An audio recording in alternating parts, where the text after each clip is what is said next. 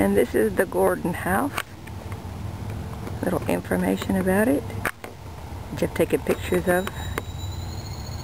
It'll be easy to read from pictures. Oh, and there's a bee. And this is the house. It's pretty cool looking. Too bad you can't see the inside of it.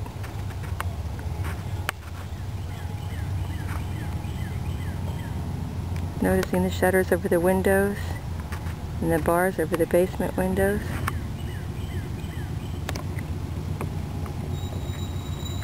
And the type of doors they use on it.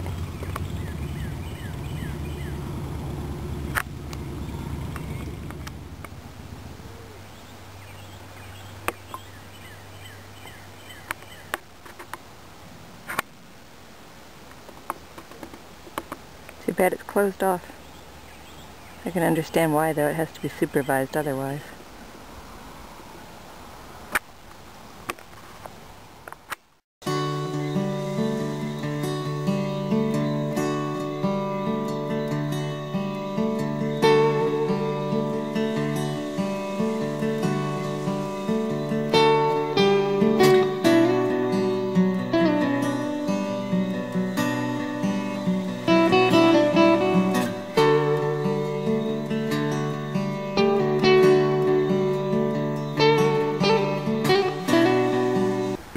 Okay, I'm going to walk the Duck River Trail, about a half mile, about a 10 minute walk, down through here,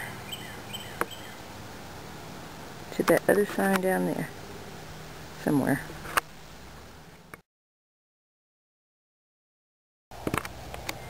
Okay, walk down that hill already, getting close to the trail.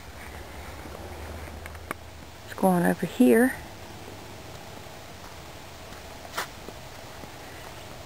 See what the creek looks like through here. Can't imagine this actually ever have, having been a functional river since it's so shallow now.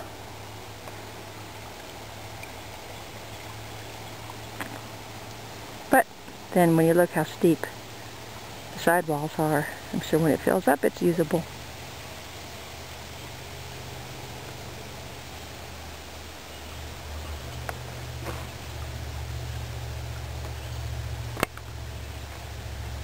Okay, continue back up the trail.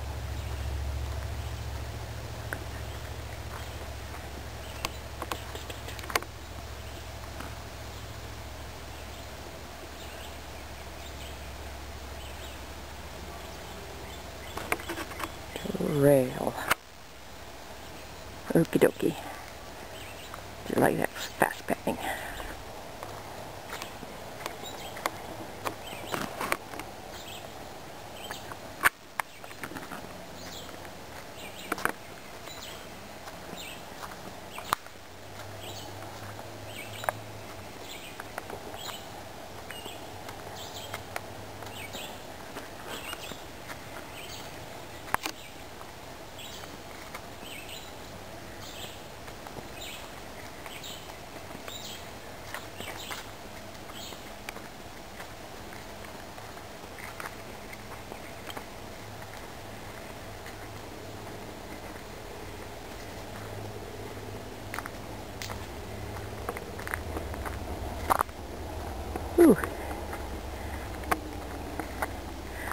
More walking. The return trip's gonna be uphill.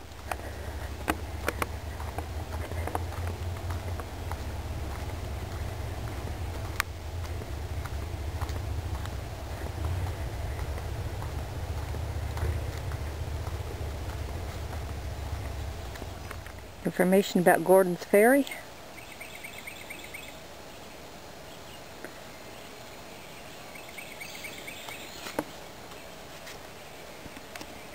Okay, so here's Gordon Ferry's little information thing.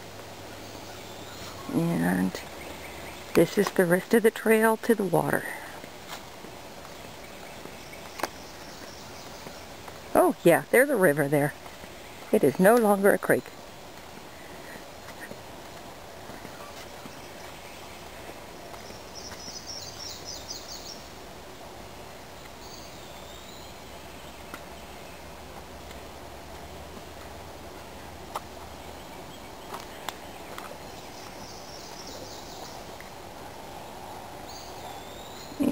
is where John Gordon met the ferry.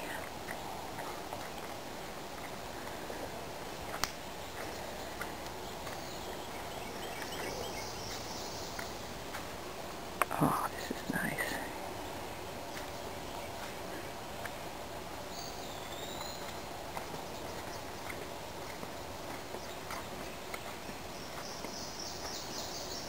Imagine the history. Incredible.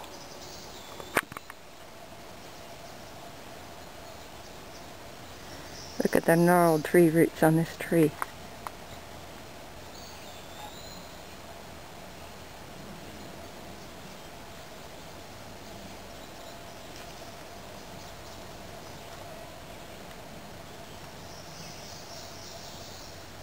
Wow. Back to the river.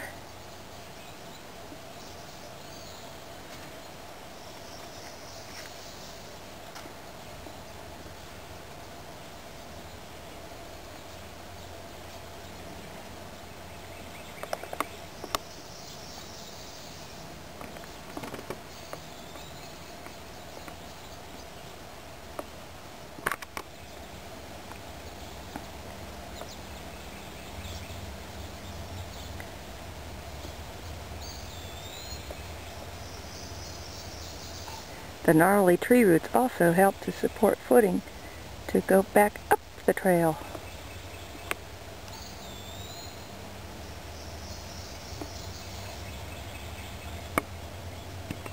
Okay, that's it for Gordon's Ferry.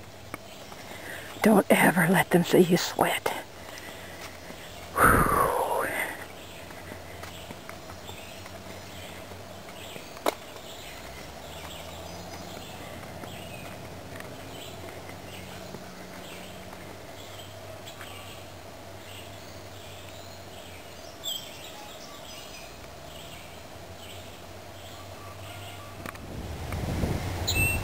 You know, going from this era